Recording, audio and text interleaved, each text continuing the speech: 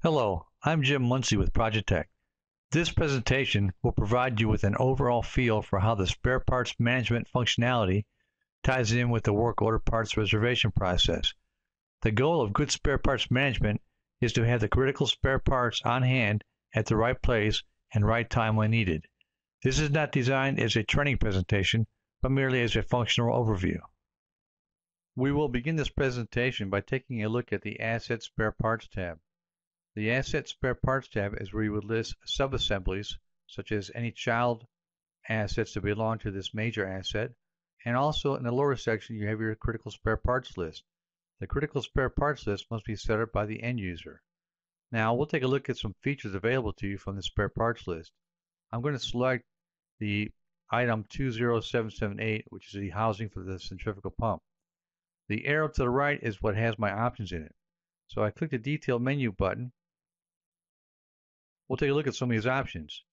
Uh, the go to allows me to hyperlink directly to either the item master or the inventory record to see more detailed information on this item. I'm going to click on the inventory button to hyperlink to the inventory application. The inventory application allows me to see more information on this item and if the item exists in more than one storeroom you must select the storeroom. I'll select the one from the central storeroom. This allows you to see all detailed information about the item. What's very important as far as spare parts goes is the Where Use tab. The Where Use tab is basically the inverse of the Asset Spare Parts tab. If you have an item listed on the Asset Spare Parts tab, it's automatically captured onto the Where Used tab for that specific item and tells you what asset it belongs to. Likewise, if you add a, a asset to the item on the Where Use tab, it automatically populates the Asset Spare Parts tab. And we'll look at a few other options. Clicking the detail button again. I go down below and click on the view image. This allows me to see the picture I have of the item that's attached to the item master record.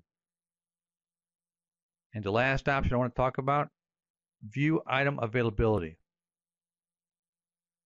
This view item availability dialog box contains a, a lot of information. The locations tab lists every storeroom that handles this item and it tells you what the current balance is, how many are reserved currently, and how many are available to be issued out. The All Lots tab contains not only the storeroom the item is located within, but also the bin number it's located in.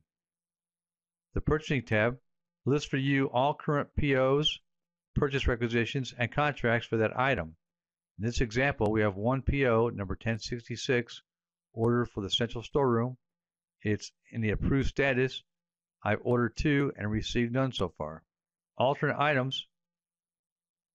This tab will list for you any substitute items that can be substituted for your original item. And last tab is reservations. This will list for you any work orders that currently have this item reserved for it.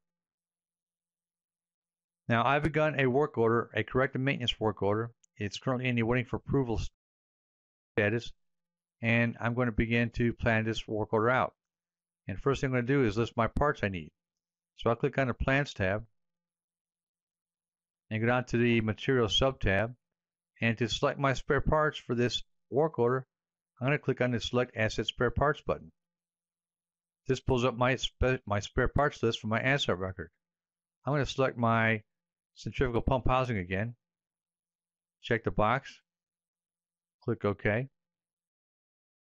When I add the item to the work order, it defaults to a quantity of 1, which I can always update to a higher quantity. I can either reserve this item in the storeroom, or I can check direct issue and buy this via a PR and PO directly for the work order. We will talk about direct issue in a later video. Right now, to reserve this, I'll just enter my storeroom in the storeroom field. Once you enter your storeroom value, other information from the inventory record will automatically populate, such as the stock category, and the unit cost. Now is a good time to save this work order, so I'll click the Save button. And to actually place a reservation, you must approve the, per, the work order. So I'm going to click on the Approve Work Order button.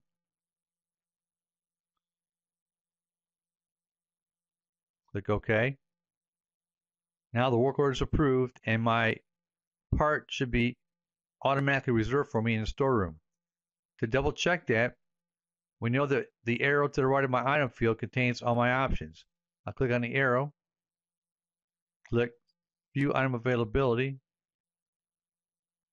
and if I look at my quantity now for the central storeroom, I still have a current balance of 1, but now I have one reserved and a quantity available of 0. Click on my, res my reservations tab. Shows me that I have a request 1620 for work order 1179, which is my work order, and it's reserved for, for me in the central storeroom, ready to be picked up. That's the reservation process. Please visit us at www.projetech.com to see our other training videos, and if you have any questions, please contact us. Thank you.